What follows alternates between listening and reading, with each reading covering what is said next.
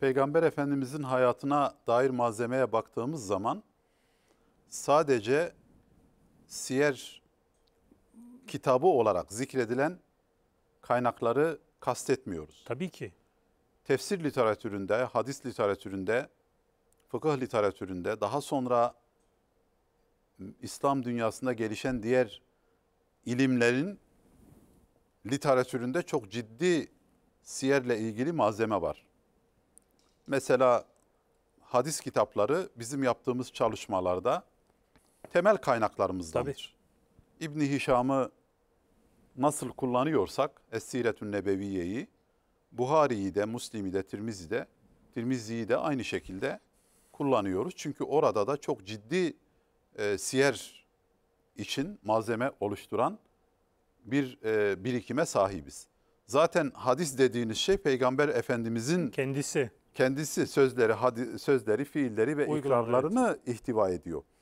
Bu bakımdan hadis e, ilmi gibi İslam dünyasında çıkmış olan bütün ilimlerde Allah Resulü'nün hayatının merkezi bir yeri var. Onun üzerinden şekilleniyor. Resulullah tebliğ ettiği mesajı nasıl anladı? Yahut onun döneminde e, Müslümanlar kendi aralarında konuştukları gibi bugün Peygamber Efendimiz bir şey söyledi mi? Birisi gelip ona bir soru sordu mu? Soruya cevap verdi mi? Şeklindeki sohbetlerinin devamı niteliğindeki sorular daha sonra ilmi birikimi oluşturdu. Bunlar çünkü nakledildi, rivayete dönüştü ve literatüre girmiş oldu. Ee, bu ilimlerin hiçbirisi Peygamber Efendimizin hayatından bağımsız değil. Bunun için siyer tefsir içinde, bu alanla ilgilenen insanlar içinde, diğer e, ilimlerle iştigal eden insanlar içinde mutlaka gerekli olan, elzem olan bir bilgiyi ifade ediyor. Fıkıh e, alanında söz söyleyecek bir insanın peygamberi tanıyamaması, tanımaması mümkün olabilir mi?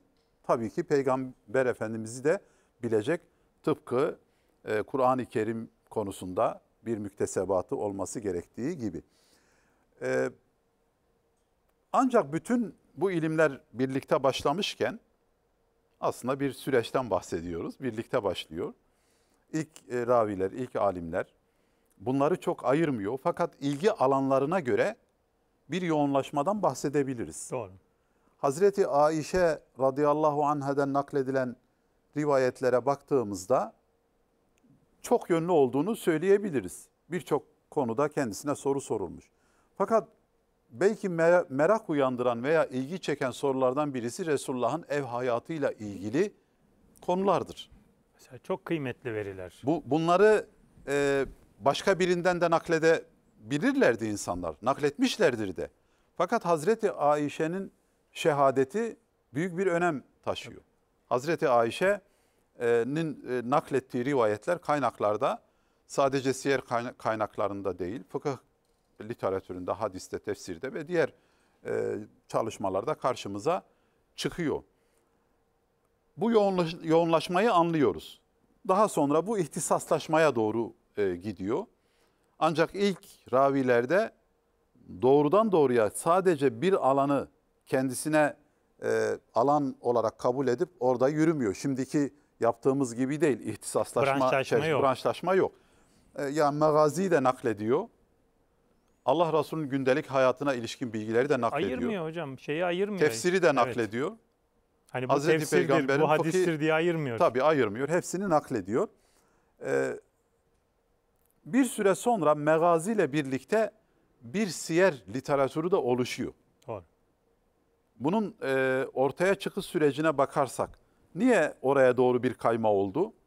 Bununla ilgili bir değerlendirme e, yapalım istiyorum. Hocam tabii şöyle e, hani ilk dönem hani şuradan başlayalım isterseniz yani ilk dönem müelliflerini incelersek e, işte hani ilk dönem sayılmaz aslında bu ama Taberi'yi incelersek biraz da hani geç dönem olması sebebiyle e, hani konu daha rahat anlaşılsın Üçüncü diye söylüyorum. asrın sonu, dördüncü asrın yani başı. 310'lu vefatı vefatını dikkate alırsak bir müfessir olarak karşımıza çıkıyor.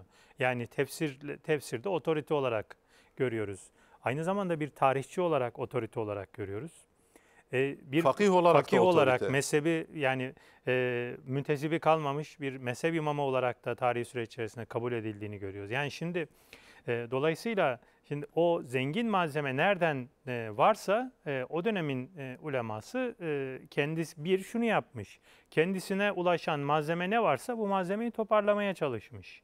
E, çünkü buradaki temel haslet, temel özellik bu malzemenin korunması ve sonraki nesillere aktarılması. Artık işlenme süreci. İşlenme süreci başlıyor. başlamış yani dolayısıyla o ilk dönemde yani söz konusu temel endişe peygamberi nasıl anlarız, nasıl aktarırız endişesi olduğu için işte Hazreti Ayşe örneğini verdiniz. Mesela yeğeni Urve üzerinden biz o kıymetli bilgilere ulaşmış oluyoruz.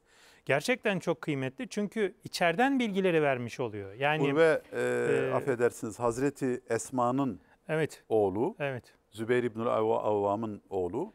E, yeğeni olduğu Evet. için Hazreti Ayşe annemizin yanına çok rahat bir şekilde Gidebiliyor. girip çıkabilen aileden birisi. Aileden birisi. Şimdi düşünebiliyor musunuz? Yani o kadar kıymetli bilgiler ki. Yani e, Hazreti Ayşe malumunuz hani peygamberimize çok uzun süre vakit geçirmiştir. Yani Urve bin Zübeyir özellikle mesela e, bu kısmı aktarırken e, şimdi e, bu kısmı tabi siyer olarak diye aktarmıyor. Yani bu kısmın muamelat kısmı varsa hukukun, İslam hukukunun alanına giriyor. İşte e, hadisle ilgili olan kısım varsa e, ona giriyor ama ana malzeme aslında hikayeyi tamamlayan kısım siyerin malzemesine e, dönüşmüş oluyor.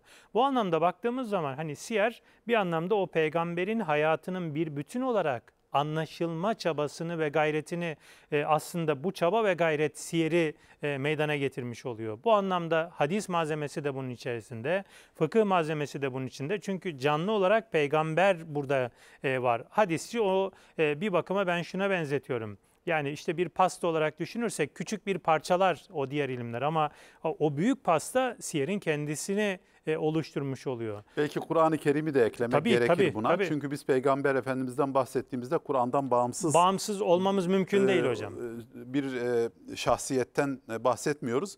Kur'an'la ilişkili ve onu yaşayan, onu tatbik eden, onu anlatan bir şahsiyetten bahsediyoruz. Onun için e, bizim e, hadis literatüründe tefsir babla, e, kitapları var. Ta- Evet, tefsir evet, ba- evet, bölümleri var. E, orada Kur'an-ı Kerim'in e, anlaşılmasına katkı sağlayacak Peygamber Efendimizin açıklamaları ya da onun hayatından da anekdotlar anlatılıyor. Yani birini diğerinden ayırmak mümkün değil ama tabii bir süre sonra nesillerin geçmesiyle beraber e, işte bizim belki hani sahife olarak başlayan, parça parça başlayan çalışmaların e, belli bir dönem sonra bizim bugün işte üzerinde konuştuğumuz bir e, konularına göre tasnif edilebilecek bir siyer müktesebatının oluştuğunu görüyoruz. Tarih süreç içerisinde tabii çokça isim zikredebiliriz. Ama şu örneği özellikle vermek istiyorum. Hani bugün en eski malzeme olması açısından, günümüze ulaşması açısından, şimdi İbn İshak'ı e, zikrettiğimiz zaman ölümü hicri olarak 151. Bu şu açıdan kıymetli. Yani Peygamber Efendimizin vefatından yaklaşık bir buçuk asır sonra e, yazılan bir eserin, onun hakkında yazılmış olan bir eserin bugün günümüze geliyor olması Siyer'in aslında ana metni olarak. ana metni olarak Evet. siyerin bugün günümüze geliyor olması konuşmamızın başında söylediğimiz yani peygamber ne ifade eder, peygamber kimdir sorusunun aslında cevabını da görmüş oluyoruz. Ee, bu hakikaten çok çok önemli. Ön- ondan öncesinde malzemenin olmadığı anlamına gelmemeli. Biz bugün elimize ulaşan, e, elimize ulaşan kısmını özellikle altını çiziyoruz. Yoksa yani İbn İshak oturup kendisi masa başında bu, bu malzemeyi üretmemiş. Ee, biraz önce söylediğimiz gibi erken dönemden itibaren hatta işte dedik ya peygamberin hayatından itibaren ona ilişkin o malzemenin e, aktarılmış olması, alan gözetilmeksizin aktarılmış olması e, işte bizim bugün konuştuğumuz siyer müktesebatını oluşturmuş oluyor ve yazılı kaynak üzerinden oluşturmuş oluyor. Bu hakikaten çok çok önemli. Yani tesadüfi bir şeyden bahsetmiyoruz. Elbette eksikleri vesaireleri olabilir ama e, hani bu kısım özellikle önemli. Biz yazılı malzemeden e, bahsediyoruz. Yazılı malzemenin e, anlattıklarını, aktardıklarını söylemiş oluyoruz. Allah Resulü'nün hayatını vahiden bağımsız olarak anlayamayız. Kur'an-ı Kerim'e vurgu yaptık.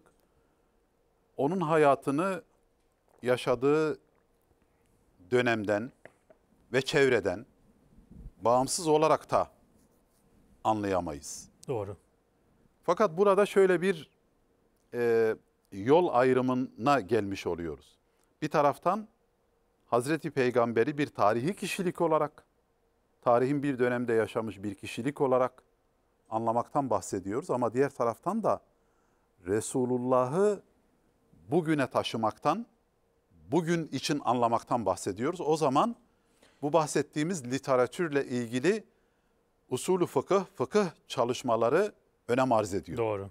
Yani o malzemeyi toplayan insanlar malzemeleri topladıktan sonra onları üretip değere dönüştürmüş oldular ki Allah Resulü'nü e, herhalde anlamada bu hususta önemli.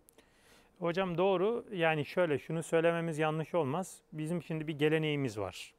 Bu e, oluşan malzeme geleneğin mahsulü. Şimdi bunu bu bizim hani dedim ya medeniyet algımızın aslında üzerine oturduğu temel değer. Ve e, bu hani e, bunu doğru kabul edersek bu aynı zamanda e, geleceğin inşası anlamında da bize yol göstermiş olur.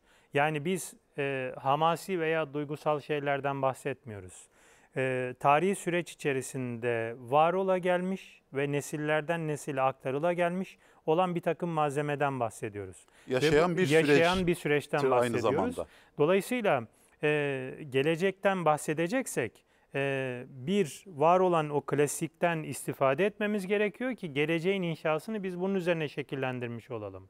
Ve bu e, aynı zamanda tarihin bir e, temel ögesi olduğu için bir süreç içerisinde gerçekleşmiştir. Yani bu bütün olaylardan bağımsız olarak e, tek başına konumlanmamıştır. Meseleyi şöyle izah edeyim daha rahat anlaşılsın.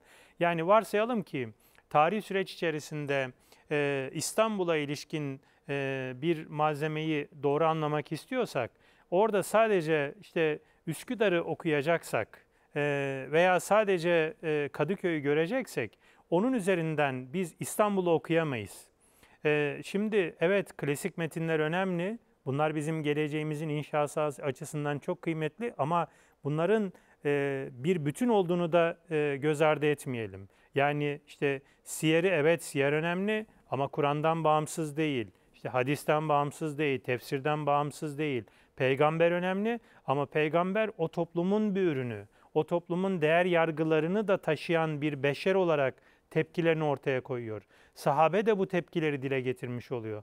Aksi halde biz bunu anlamazsak, biz bunu anlamazsak şuna dönüştürmüş oluruz. Peygamberi bir e, e, robota dönüştürmüş oluruz ve bu din o zaman yaşanılamaz. E, insanların yaşayamayacağı daha da önemlisi programın başında sorduğumuz sorunun cevabını bulamayız. Bu din bugüne hitap etmez o zaman. Evet. Peygamber tarihin gerisinde kalmış olur. Peygamber Efendimiz'i e, anlamaya hem geleceği inşa etmek açısından hem de esasen bugünü yaşamak açısından çok büyük ihtiyacımız var. Ümmet bilinci, digergamlık, Müslümanların hakkaniyet üzere bir ve beraber olmaları, birbirlerine destek olmaları. Mesela bugün e, Filistin'de büyük bir insanlık dramı yaşanıyor. Evet. 2 milyon insan açık bir hapishanede tutuluyor. Sudan, Vahşet, yemekten, soykırım ne derseniz elektrikten deyin. mahrum bırakılarak bütün dünyanın gözü önünde insanlık suçu işleniyor ve Müslümanlarda peygamberin ümmeti olma refleksi maalesef ortaya çıkmıyor. Çıkmıyor. Bugüne bugün için ihtiyacımız var ama tabii ki gelecek için de ihtiyacımız var. Ağzınıza olacak. sağlık. Değerli izleyicilerimiz programımızın sonuna geldik. Önümüzdeki hafta aynı gün ve saatte birlikte olmak ümidiyle Allah'a emanet olun.